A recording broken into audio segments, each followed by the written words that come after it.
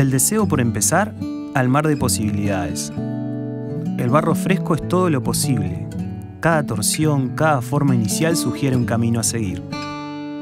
Las manos trabajan ahora con un propósito. Empujan y modelan procurando fidelidad a la idea inicial, al sueño primero, atentas también a sus posibilidades.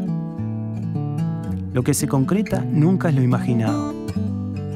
Los ojos, que buscan achicar la distancia entre lo soñado y lo que se tiene entre manos. Lo concreto no es lo imaginado. Donde lo imaginado es sublime, lo real se nos aparece como imperfecto, permanentemente inacabado.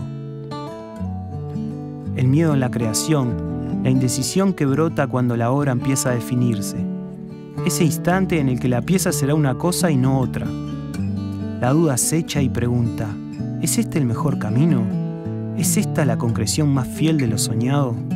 Sanas preguntas que encierran el riesgo de paralizar el trabajo, restar fuerzas a las manos abrumadas que necesitan decisión para seguir definiendo. Hay veces que entendemos el compromiso acompañado de la quietud, lo acabado y cerrado. Cuánto más parecido es el compromiso al movimiento, a dejarlo seguro y abrazar la intemperie para desde ahí crear. El material y el artesano dialogan en sus ritmos, la pieza endurece y avisa que es el tiempo del detalle, de atender al dibujo, profundizar en la trama que la hace cada vez más única y distinta. Con cada trazo crece el amor por la obra. Ya son horas de trabajo y el creador entiende con las manos la unicidad y valor de lo que están haciendo. Incluso en lo imperfecto, la entiende única y la quiere.